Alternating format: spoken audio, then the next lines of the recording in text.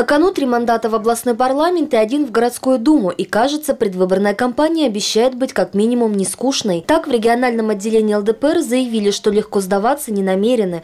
За депутатские кресла в областном собрании под знаменем ЛДПР поборются Александр Ерофеевский в Котласе, Эдуард Володенков в Онеге и Игорь Арсентьев в Шенкурске. Поэтому э, мы планируем активную предвыборную кампанию – негатив, который э, сегодня скопился у населения к действующей власти, с учетом того, что до выборы по двум из трех округов у нас э, связаны с негативными явлениями депутатов от партии власти, поэтому мы планируем там э, предвыборную кампанию развернуть активно и рассчитываем на победу.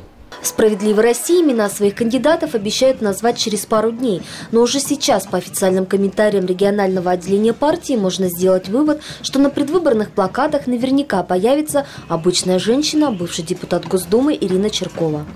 Но, в свою очередь, хочу заверить, что это известные и авторитетные люди не только на территории избирательных округов, по которым они будут баллотироваться, но и на всей Архангельской области. Некоторые из них обладают солидным законодательным опытом, в том числе а, работы в высших законодательных органах страны. А, все они профессионалы и будут достойно отстаивать интересы северян. Политические партии которые у нас в России есть и в Архангельской области, они выдвигают своих кандидатов. Ну, если достойные кандидатов, попробуем мы с ними обязательно представить более лучших Лучших «Единая Россия» отбирает по старинке на праймерис. Полный список кандидатов огласят 12 марта. Результаты уже проведенных предварительных голосований таковы. В Вельский ЕР представит директор Вельских электрических сетей Олег Сидоровский. В Онеге бывший заммэра Архангельска бизнесмен Анатолий Назаров.